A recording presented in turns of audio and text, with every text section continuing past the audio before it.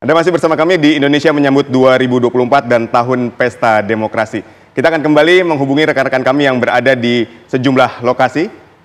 Tadi kita sudah bersama dengan beberapa rekan kami. Ada Arga Dumadi di Solo tadi, kemudian sudah ada Ikra Anggana di Monas Jakarta. Sekarang kita akan menuju ke sekarang kita akan menuju ke Bundaran HI. Sudah ada Faris Tofal yang akan mengabarkannya untuk Anda. Faris.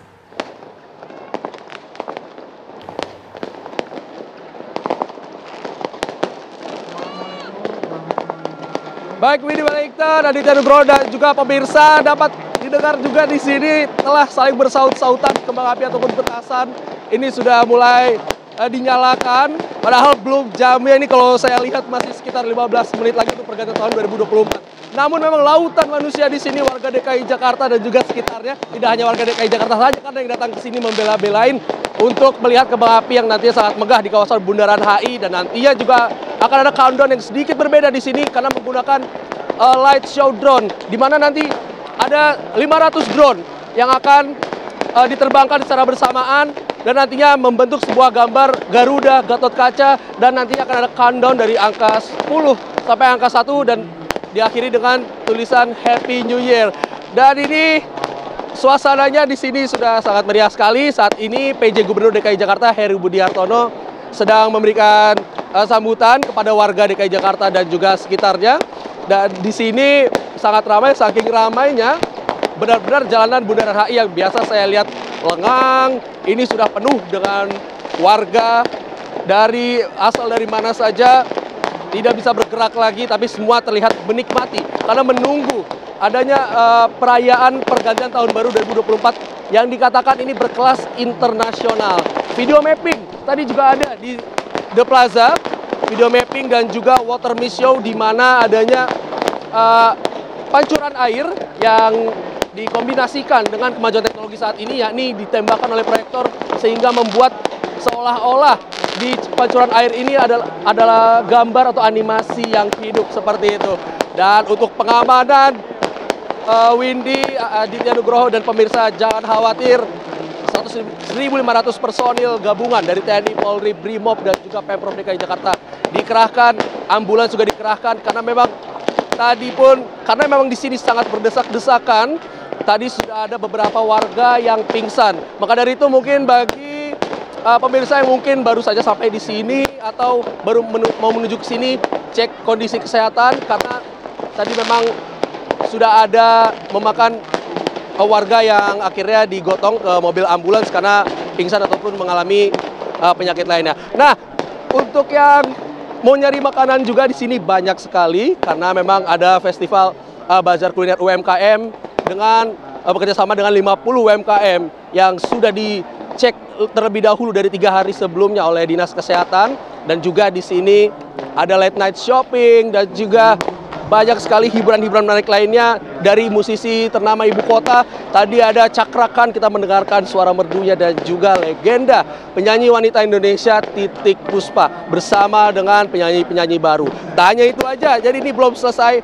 Tadi juga ada parade, ada Jakarnaval namanya, di mana tadi uh, parade dari drum band anak-anak SMA dan SMK di Jakarta bersama diiringi dengan ondel-ondel lalu ada juga mobil hias 11 mobil hias yang dipersiapkan juga oleh Pemprov DKI Jakarta untuk menghibur warga DKI Jakarta yang merayakan pergantian tahun baru 2024 di sini. Kita semua berharap tahun 2024 menjadi tahun yang luar biasa karena memang banyak sekali momen-momen yang ditunggu ini yang mungkin saya tunggu juga bagi pecinta sepak bola nanti ada Euro, ada Copa America dan untuk warga Indonesia nantinya ada pesta demokrasi, ada pemilu Pilpres 2024. Nah, di sini terlihat memang walaupun berdesak-desakan warga tetap happy dan masih menunggu seperti apa light show drone yang nantinya akan uh, ditampilkan oleh Pemprov DKI Jakarta karena memakai pilot drone khusus dari luar negeri yang bisa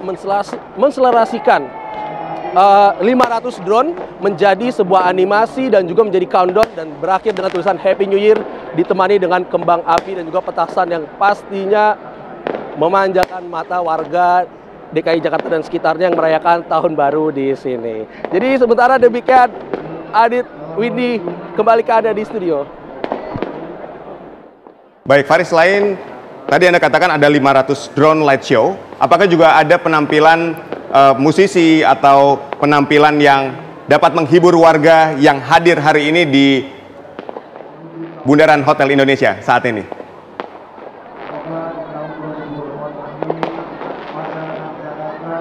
Ya, untuk hiburan lainnya, selain tadi ada musisi ternama ibu kota, ada juga uh, Jakarnaval, lalu ini malam muda-mudi, jadi memang malam ini dikhususkan untuk para pemuda-pemuda Indonesia juga pastinya untuk merayakan perayaan tahun baru yang megah berkelas internasional. Karena dalam dua tahun, tiga tahun terakhir semenjak COVID-19 pastinya warga merindukan euforia ataupun uh, animo seperti ini karena sudah menunggu bertahun-tahun eh, tahun baru di rumah saja, di rumah saja. Dan sekarang melampiaskannya di tahun pergantian tahun baru 2024 ini dengan keluar berkumpul bersama-sama di sini. Walaupun berdesak-desakan lautan manusia di sini tapi semua happy, semua excited. Tidak ada yang mengeluh dan semua menunggu uh, pertunjukan kembang api yang pastinya ditunggu-tunggu dan telah dipersiapkan oleh Pemprov DKI Jakarta dibilang berkelas internasional dan saya pun juga menunggu seperti apa kemegahan kembang api di kawasan Bundaran HI Jakarta ini. Adit. Baik, untuk rekayasa, rekayasa lalu lintas sendiri seperti apa di sana Faris? Ya, rekayasa lalu lintas di sini kurang lebih jika singkatnya ini seperti Car Free Day pada biasanya menutup dari Jalan Sudirman hingga Jalan Tamrin karena memang tersedia di sini disediakan 12 panggung hiburan dari sepanjang Jalan Sudirman hingga Tamrin dan untuk persimpangan, perempatan, putaran balik itu semua ditutup di blocking karena sudah dinetralisir telah dinetralisir untuk mobil karena ini malam tahun baru spesial dan car free night. Jadi tidak ada kendaraan bermotor yang bisa melewati jalanan Sudirman hingga Tamrin. Dan untuk jalanan itu tutup singkatnya kurang lebih seperti car free day pada hari-hari Minggu biasanya. Begitu Adit. Baik, terima kasih Faris Noval mengabarkan langsung dari Hotel Indonesia dan tadi kita melihat di sana car free night diterapkan, artinya warga di sana bebas untuk berada di Bundaran Hotel Indonesia untuk menyaksikan 500 drone menampilkan nanti cahaya pertunjukan cahaya yang menampilkan berbagai karakter yang sangat menarik untuk menyambut pergantian tahun. Ya, tentunya kami masih akan menghadirkan sejumlah wilayah lainnya dalam pergantian malam tahun baru 2024 sesaat lagi. Ada kembali bersama kami pemirsa, kami masih akan menghadirkan sejumlah informasi dari berbagai, dari berbagai daerah untuk mengabarkan bagaimana persiapan menjelang pergantian malam tahun baru 2024. Baik, kita akan menuju ke Medan, Sumatera Utara. Karena sebentar lagi kalau kita lihat ini ya kurang dari 10 menit kita akan hmm. melihat bagaimana pergantian tahun 2024 di wilayah Indonesia bagian timur. Dan kita akan masih menunggu dari Medan Sumatera Utara bersama rekan Novri Avandi di sana yang akan mengabarkan bagaimana kemeriahan pergantian tahun di Medan Sumatera Utara. Dan sebelumnya tadi kita juga sudah melihat rekan-rekan kita di beberapa lokasi ya Windy. Mhm, nah kita juga penasaran apakah di Medan ini perayaan malam pergantian tahun barunya berbeda dengan tahun-tahun sebelumnya? Apakah ada aturan khusus juga kita akan tanyakan langsung bagaimana situasinya di sana. Baik, silakan Novri Avandi bagaimana kemeriahan kita hanya tinggal menghitung menit menuju 2024. Silakan Novri. Ya Aditya dan juga pemirsa pada saat ini memang sekitar 10 menit lagi ini malam pergantian tahun menuju 2024 di kota Medan akan dimulai di mana saat ini memang jelang malam pergantian tahun saat ini sedang dilaksanakan doa bersama di tempat acara perayaan malam pergantian tahun di Kota Medan. Tepatnya di mana pada hari ini perayaan malam pergantian tahun 2024 dilaksanakan pemerintah Kota Medan melalui Dinas Pariwisata Kota Medan di lapangan Benteng yang saat ini memang ini sangat ramai dipenuhi warga Kota Medan dan sekitarnya. Kita bisa lihat di sini pemirsa di belakang saya ini sudah dipenuhi oleh masyarakat yang menunggu detik-detik malam pergantian tahun. Memang tidak ada digelar pesta kembang api oleh pemerintah Kota Medan di mana pada malam hari ini diganti dengan atraksi drone light show ataupun pertunjukan lampu drone yang akan dilaksanakan sebentar lagi di mana saat ini memang masih digelar uh, momen doa bersama bersama unsur Forkopimda. Tadi kami juga melihat Wali Kota Medan Bobi Nasution sudah tiba di lokasi acara yang tentunya akan sama-sama menghitung mundur pergantian tahun dari 2023 menuju 2024. Di Lapangan Benteng Kota Medan ini pemirsa selain hiburan dan juga atraksi serta penampilan musik dari artis ibu kota maupun artis daerah ini juga di laksanakan ataupun disediakan sebanyak sekitar 70-an lebih uh, stand bazar UMKM yang dapat dinikmati masyarakat untuk menikmati jajanan-jajanan sambil menunggu pergantian tahun 2024. Tentunya dalam malam pergantian tahun ini, aparat gabungan Polri TNI juga disediakan untuk mengamankan lokasi di sekitaran kota Medan, di mana saat ini ada sebanyak 1.622 personel gabungan, baik itu dari TNI, sebanyak 148 personil, dan 593 personil dari instansi terkait. Dan ini tentunya masyarakat diimbau agar tetap kondusif, dapat merayakan malam pergantian tahun dengan damai, dan tentunya dihimbau untuk tidak melakukan pesta kembang api. Dan memang di sini merupakan pusat acara malam pergantian tahun di Kota Medan. Selain itu juga disediakan sebanyak 19 pos pengamanan dan juga pos pelayanan serta pos terpadu yang sudah berdiri di seputaran Kota Medan. Dan selain itu juga disediakan kantung parkir tentunya untuk masyarakat yang berbondong-bondong hadir di kawasan lapangan Benteng Kota Medan ini. Dan tentunya memang ini berbeda dibandingkan dengan tahun sebelumnya, di mana tahun lalu ini dilaksanakan di sekitar kawasan Jalan Balai Kota yang dekat dengan kantor wali kota Medan ini sedikit bergeser dipusatkan di lapangan Benteng Kota Medan. Dan saat ini kita lihat pemirsa ini wali kota Medan Bobi Nasution sedang memberikan sambutan untuk sebentar lagi akan melaksanakan hitung mundur malam pergantian tahun menuju 2024 Aditya dan Windy. Baik, Novria Fadi, terima kasih atas laporan Anda langsung dari Medan, Sumatera Utara. Baik, dari Medan, Sumatera Utara kita menuju ke Ancol bersama dengan Laura Luis dengan bando kelinci lucunya. Bagaimana kemeriahan di Ancol saat ini, Laura? Silakan. Ya, Ditya Windy dan juga pemirsa, saat ini kurang dari 10 menit lagi kita akan menyambut tahun baru 2024 di tempat saya mengabarkan saat ini yaitu di Pantai Lagun di Ancol. Saat ini warga sudah bersiap untuk menantikan kembang api terbesar se-Indonesia yang nantinya akan dinyalakan tepat pukul 00 atau tepat pukul 12 malam waktu Indonesia Barat. Di sini banyak sekali pengunjung yang tengah bersantai menikmati pemandangan pantai. Pantai Lagun di kawasan Ancol ini ada juga yang sedang bermain air. Anak-anak diawasi oleh orang tuanya dan juga muda-mudi. Di sini juga sudah ramai sekali dari tadi sore walaupun sempat hujan tadi sebentar namun tidak mengurangi jumlah pengunjung malah makin malam makin ramai sekali di sini. Jadi nantinya tepat pukul 12 akan ada kembang api yang akan dinyalakan. Untuk saat ini juga ada beberapa warga yang menyalakan kembang api, namun itu adalah bentuk antusias mereka dalam merayakan tahun baru. Namun nantinya puncaknya pada pukul 12 malam yaitu waktu Indonesia Barat.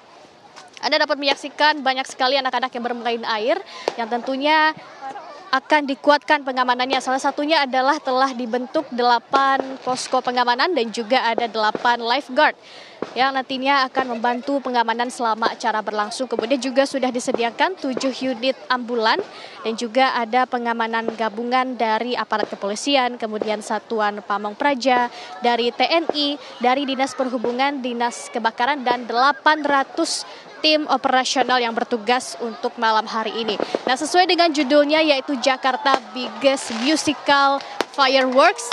Juga ada live music yaitu dari artis-artis Indonesia seperti Noah, The Changcuters, Roma Irama, dan Soneta itu nanti di puncaknya yaitu di Pantai Karnaval. Nah ada tiga puncak di kawasan Ancol ini untuk merayakan malam tahun baru yaitu di Pantai Lagun di tempat saat ini saya mengabarkan dan juga di Pantai Festival dan Pantai Karnaval. Nah ini sudah mulai mendekati akhir tahun, sudah mulai banyak pengunjung yang menyalakan kembang api sudah tidak sabar nampaknya untuk merayakan tahun baru. Detik-detik menuju pukul 12 malam.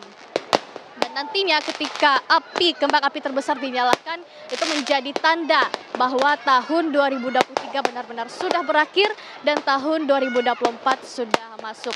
Banyak sekali warga yang mengabadikan momen-momen kembang api ini walaupun belum puncaknya, namun warga sudah antusias tepat di tepi pantai. Di sini tempat saya mengabarkan. dapat Anda saksikan di layar kaca Anda mulai kembang api dinyalakan. Kembang di atas langit dengan pemandangan pantai di Pantai Lagun ini. Kemudian juga untuk tempat parkir sendiri Anda juga tidak perlu khawatir bagi Anda yang berada di kawasan Ancol karena khusus hari ini, hari ini saja kawasan Ancol sudah menyiapkan kawasan parkir. Seluruh kawasan di Ancol ini disediakan untuk parkir yaitu bisa menampung sebanyak 8.600 untuk kendaraan mobil atau kendaraan roda 4 dan sebanyak 18.400 untuk kendaraan roda 2 atau kendaraan motor yang nantinya akan diarahkan oleh petugas. Di sini dari semua kalangan hadir, mulai dari orang tua, kemudian juga muda-mudi, bahkan anak-anak, bahkan balita pun ada di sini menyambut tahun baru 2024 yang sesaat lagi benar-benar akan kita rasakan euforianya. Kemudian tadi juga sudah dihimbau bagi warga yang menyalakan kembang api dihimbau untuk berhati-hati agar tidak membahayakan pengunjung lainnya di mana warga sudah diminta untuk menembakkan kembang api ini ke atas langit agar tidak membahayakan pengunjung lain. Kemudian sebenarnya tadi juga anak-anak yang bermain air di tepi pantai ini sudah dihimbau untuk tidak bermain air lagi di tepi pantai sejak pukul 18 waktu Indonesia Barat. Namun tetap saja mereka semangat untuk bermain air dan ini mulai mulai ramai pemirsa, mulai tampak tawa gembira dari para pengunjung. Dan di sini ramai sekali yang melakukan ada yang mengabadikan momen, ada yang tetap menikmati makanan seperti tadi ada yang belanja makanan dan di sini juga banyak sekali spot makanan. Jadi pengunjung di sini tidak perlu merasa khawatir jika merasa lapar bisa langsung belanja makanan yang diinginkan yang tersedia di booth-booth yang ada di kawasan pantai Lagun ini.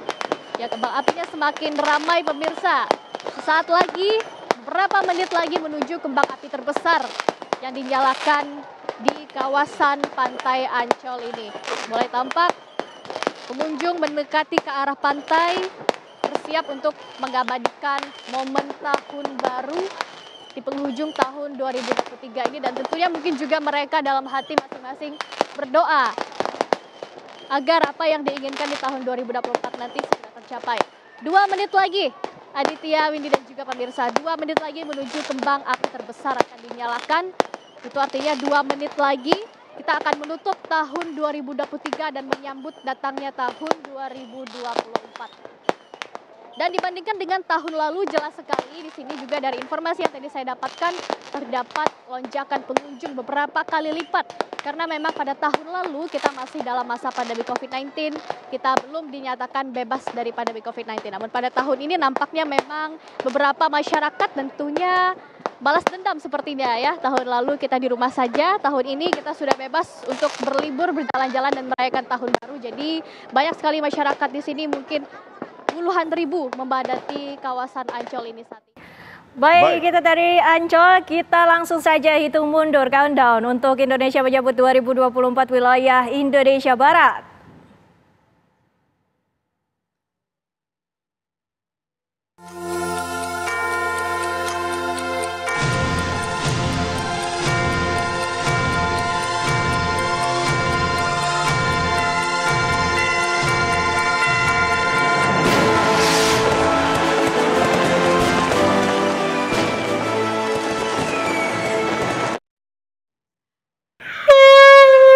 Ya, kita sudah membunyikan air trompet ini.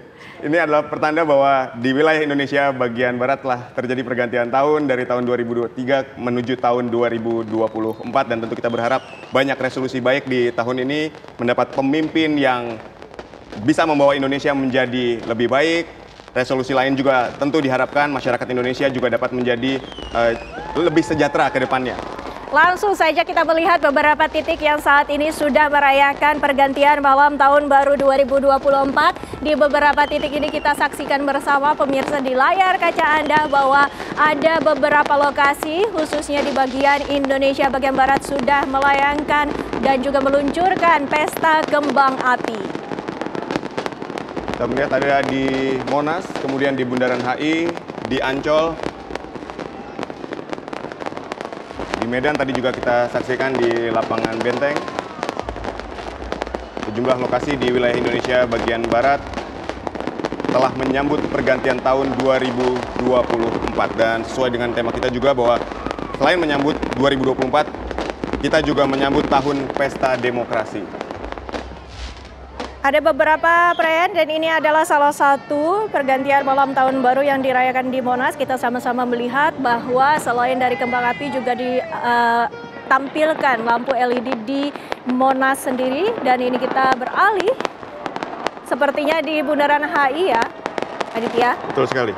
Di Bundaran HI Anda dapat melihat pesta kembang api yang begitu meriah, begitu spektakuler untuk menyambut tahun 2024 dengan harapan Indonesia menjadi lebih baik ke depannya. Diprediksi ada 30 ribu orang yang berada di Bundaran HI pada pergantian malam tahun baru. Dari sana juga kita bisa melihat bahwa selain dari uh, kembang api juga ada atraksi dari drone yang ditampilkan di sekitar Bundaran HI sendiri. Drone light show itu akan diberikan di mana ada 500 drone light yang saat ini Anda saksikan bersama-sama di layar kaca Anda menampilkan bendera merah putih yang merupakan bendera Indonesia. Pilot Selain... drone ini juga dikabarkan merupakan pilot drone internasional yang didatangkan untuk membuat pertunjukan 500 drone light ini menjadi sebuah tampilan yang begitu luar biasa kita saksikan bersama bahwa dalam drone light show ini akan juga ada video mapping 3D dan juga water show yang akan diselenggarakan di daerah Bundaran Hotel Indonesia. Betul sekali. Selain drone light show sebanyak 500 tadi, ada pertunjukan water miss show, ada empat water screens yang menakjubkan dan 3D projection mapping yang memukau yang juga ditampilkan di Bundaran Hotel Indonesia. Nah, kita sama-sama melihat bahwa ternyata drone show itu tidak hanya diselenggarakan di Bundaran HI, bahwa di Medan Sumatera Utara juga Anda dapat sama-sama menyaksikan bahwa drone ini juga ditampilkan di langit Medan karena di sana ada aturan baru berbeda dengan tahun-tahun sebelumnya bahwa kembang api dilarang untuk dilakukan di daerah Medan Sumatera Utara. Betul. Tadi kita lihat ya di Medan drone light show-nya menunjukkan kata kolaborasi. Hmm.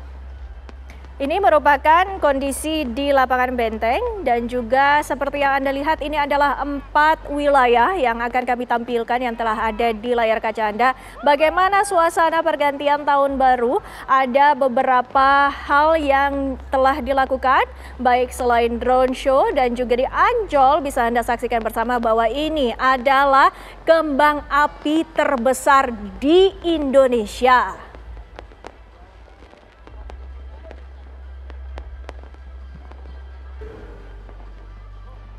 Kita sama-sama saksikan bahwa ini adalah pertunjukan kembang api yang merupakan terbesar di Indonesia yang dilakukan di Ancol. Betul, diprediksi sekitar 100 ribu orang ini memadati Taman Impian Jaya Ancol. Dan seperti yang dinyatakan uh, oleh pihak panitia dari Ancol sendiri, bahwa pesta kembang api di Ancol akan berlangsung selama 10 menit dan juga diiringi oleh irama musik. Betul. Ini dalam rangka untuk menyambut tahun baru 2024 yang dihelat di Taman Impian Jaya Ancol malam ini. Pesta malam pergantian tahun kali ini mengusung tema Jakarta Biggest Musical Fireworks dan masyarakat sama-sama bisa menyaksikannya di Pantai Lagun pada pukul 00. Selanjutnya di Monas kita sama-sama menyaksikan bahwa pesta kembang api kali ini sudah ditampilkan.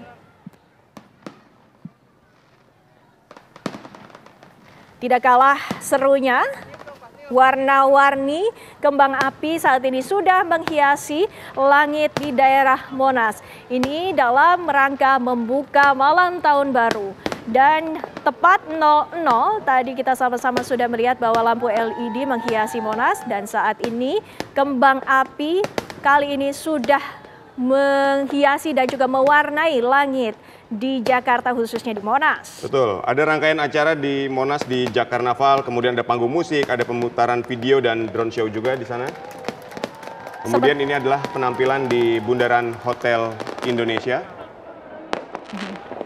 Kita masih lihat bagaimana gemerlap cahaya dan kemeriahan kembang api juga masih terjadi di Bundaran Hotel Indonesia. Nah, seperti yang kita ketahui ini ternyata Aditya Ya. Pemprov DKI Jakarta ini sudah memberikan himbauan kepada masyarakat yang akan menghabiskan waktu di Bundaran HI ada aturan tidak hanya datang dan merayakan tahun baru tapi ada aturan yang harus dipatuhi oleh warga di sana di mana dalam aturan yang sudah dibagikan dalam media sosial dinyatakan bahwa setiap pengunjung yang akan melewati malam tahun baru di Bundaran HI dilarang untuk membuang sampah sembarangan, membawa senjata dan juga obat-obatan terlarang, dilarang untuk membawa hewan peliharaan dan juga dilarang untuk menyerukan ujaran kebencian serta melakukan vandalisme. Ini tentunya merupakan eh, himbauan-himbauan yang diberikan oleh Pemprov DKI Jakarta agar pergantian tahun baru 2024 dapat dilaksanakan secara aman dan nyaman. Betul. Di layar kaca Anda, Anda dapat melihat bagaimana kemeriahan di Bundaran Hotel Indonesia.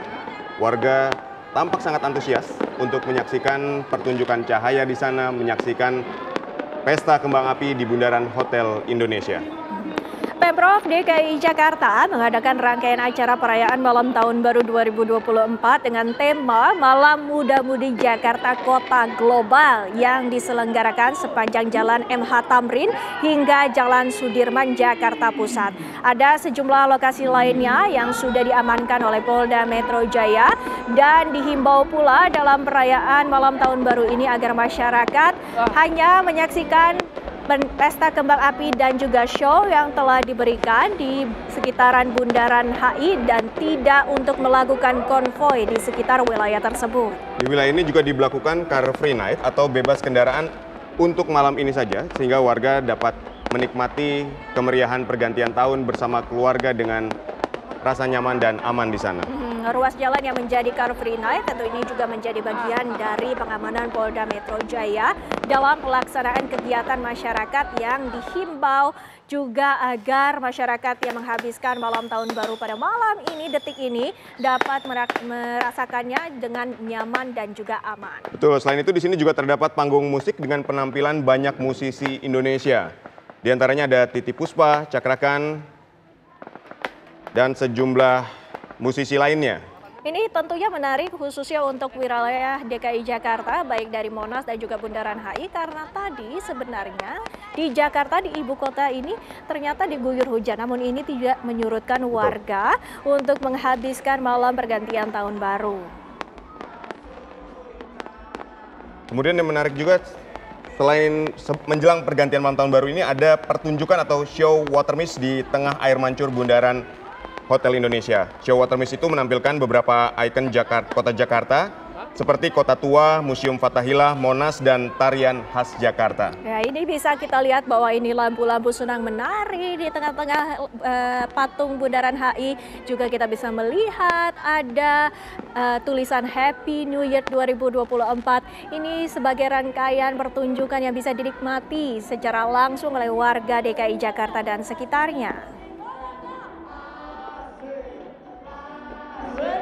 Dan terdengar juga ya bagaimana lantunan musik dari panggung hiburan ini menggoyang pengunjung yang hadir di sekitaran Bundaran Hotel Indonesia. Ya, mungkin pemirsa dan juga Aditya tidak sadar nih bahwa tulisan Happy New Year 2024 itu merupakan 3D projection mapping yang ditampilkan di The Plaza Kirana Jakarta by City Vision yang menjadi pesta kelas dunia bertema masa depan dan tidak ingin dilewatkan oleh masyarakat yang hadir di sana. Selain itu juga ada beberapa kembang api yang diluncurkan oleh pribadi ataupun masyarakat yang berada di sana.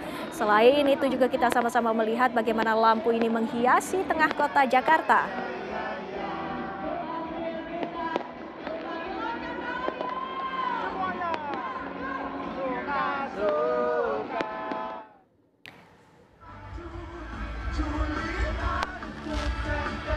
Selain di Jakarta, salah satu wilayah yang juga merayakan pergantian malam tahun baru detik ini adalah di Medan. Ini bagaimana situasinya kita bisa lihat bahwa sukacita ini dirasakan oleh warga Medan Sumatera Utara yang juga diiringi oleh musik untuk malam pergantian tahun baru 2024. Ya warga Medan ini memadati lapangan Benteng. Mereka menyaksikan drone light show juga di saat detik-detik pergantian tahun. Hmm. Atraksi drone ini tentunya menjadi salah satu pertunjukan utama dalam pergantian tahun baru 2024. Selain itu kita juga sama-sama melihat bahwa ada band yang juga mengiringi uh, pergantian tahun baru di mana drone light show dan juga band-band yang hadir di sini juga ikut meramaikan pergantian. Ya, tahun kita dapat melihat ini adalah musik dari band Raja ya Windy. Mm -hmm. Di sini juga ada pesta persona harmoni yang menghadirkan puluhan UMKM mulai dari kuliner dan komunitas. Hmm, yang ini adalah yang bisa kita lihat bahwa ada tenda-tenda putih. Ini juga untuk membantu UMKM, tidak hanya untuk merayakan pergantian tahun baru, tapi juga untuk membantu mereka, khususnya di daerah Medan, Sumatera Utara. Ya, warga Medan digoyang oleh Ian Kasela.